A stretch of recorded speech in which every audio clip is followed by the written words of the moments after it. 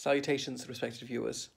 In this video, I wish to say farewell, Lord Ashdown. So, um, who was Lord Ashdown? He was leader of the Liberal Democrats for quite some years, and he has now been called to his reward. I just found out that he died today. Only two months ago, he was diagnosed with bladder cancer, obviously advanced quite rapidly.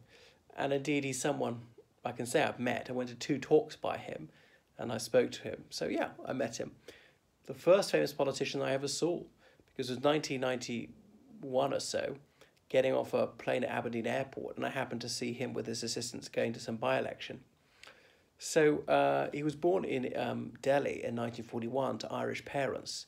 He was the progeny of a mixed marriage, as we call it in Ireland, as in one of his parents was a Protestant and one of them was a Catholic. I think he was Protestant on his father's side. And he partly grew up in, in County Down. So he went to um, school in Bedford, that's in England. And because he's Irish, his name is Paddy Ashdown. His name was actually, wasn't it Jeremy John Durham Ashdown? But just from that time on, from his adolescence on, always known as Paddy. So he joined the Royal Marines, became an officer. Um, he married very young, like at 19. There's some 60s documentary in which he's shown he served in Northern Ireland in the early years of the Troubles. Um, so, uh, yes, he said he was Irish, and he actually said that in the speech that I went to, although people in Ireland are usually not aware of that. But um, saw no contradiction between that and being British as well. Um, and uh, he was a Labour Party member in the in the early days. Um, and then he left the Royal Marines after quite a few years. He went to the University of Hong Kong, age 30, he learned Chinese. And I think he was in the Foreign Office, the Intelligence Services, and so on in the 70s.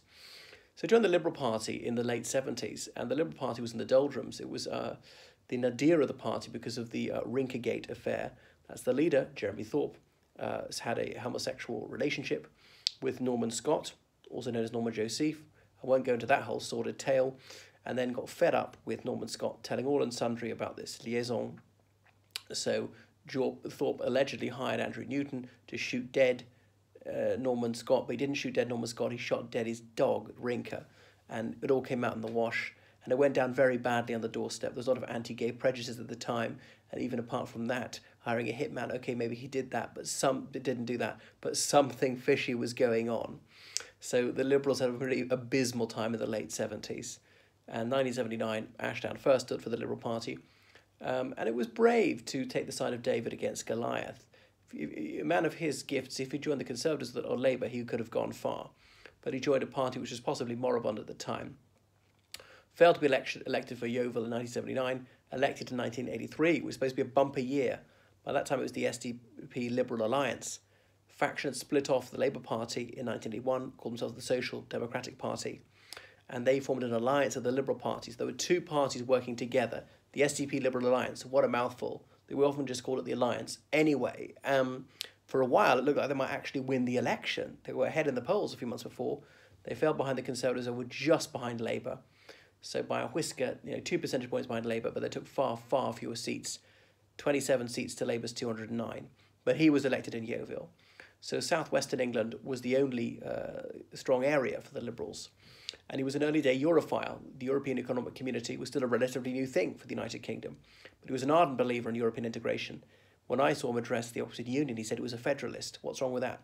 Now, I respect his position. It's a consistent position. Also, he's candid about it. But there's so, there's so many closet federalists who, who won't uh, tell the truth about what they actually believe and want.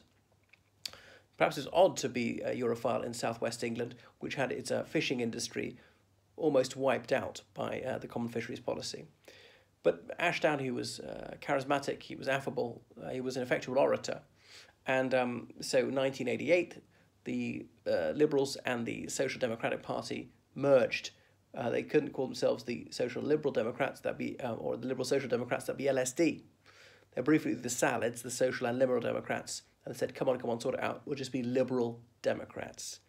So he led them into the 1992 election with that name against John Major, and it, Labour and the Conservatives were neck and neck until on a stage in Sheffield, Neil Kinnock, the leader of the opposition, made a complete tit of himself and single-handedly handed the election to the Conservatives.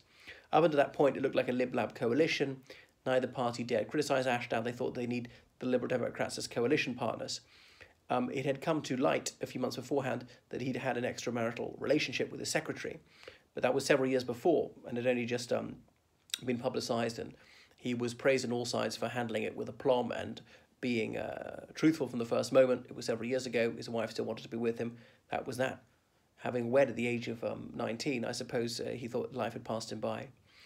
Um, so then he led the Liberal Democrats fairly effectively against John Major's government, and Major's government's uh, popularity was soon, um, you know, down in the gutter, and they lost by-election after by-election.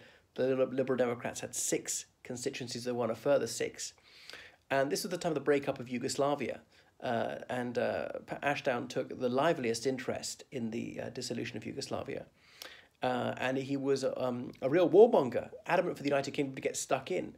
That there was no advantage for it in the United Kingdom. There's no British interest, interest that was threatened. It was out of sheer humanitarianism, I suppose. Though oddly, he didn't extend that attitude to Iraq later. So he thought that British soldiers should get killed for Bosnian independence, but should never even vote for their own independence. It's staggering um, because uh, he was um, such a Europhile. Now, there's some good things about the European Union and all that, but um, don't say that the UK shouldn't care about its own independence a bit. I know independence can be overrated. It can be good not to be independent. Um, but uh, then say that the United Kingdom must fight for a country which most people have never heard of. So uh, the odd thing is, the his party's share of the vote fell in 92 and fell in 97, and yet he's hailed as a triumph because they gained in seats. And I pointed this out to him when he spoke at the Oxford Union, and he said we count at seats, not votes. So they went up from 20 constituencies in 1992 to 46 in uh, 1997. So it was a tremendous success for them.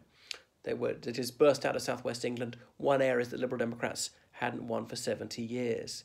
Um, thought they really could be the party of government. There were times people thought they would come ahead of the um, Conservative and Unionist Party. So he uh, acknowledged that he and Blair agreed about a lot. And he was writing diaries at this time. And as he indelicately put it, uh, the relationship between uh, the Liberal Democrats and Labour should be possibly casual sex, possibly a lengthy affair, and possibly marriage. As in, the first would be cooperating on certain issues, the second would be a coalition, and the third would be an actual merger.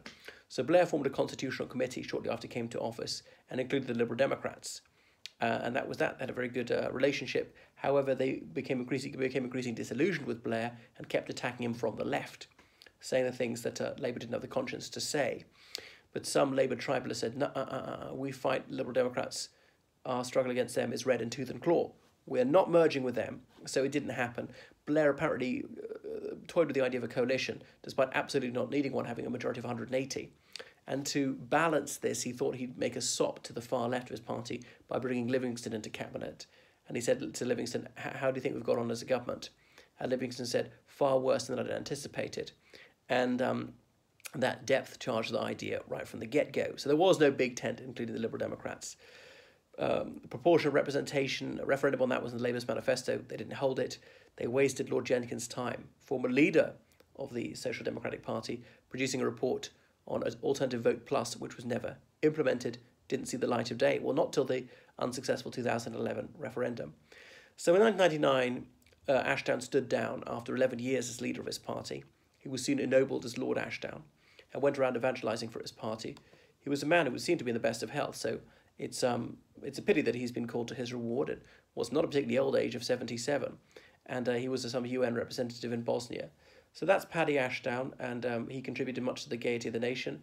He was a man whose opinions I don't doubt were sincerely held, uh, and he had some integrity. So he shall be missed.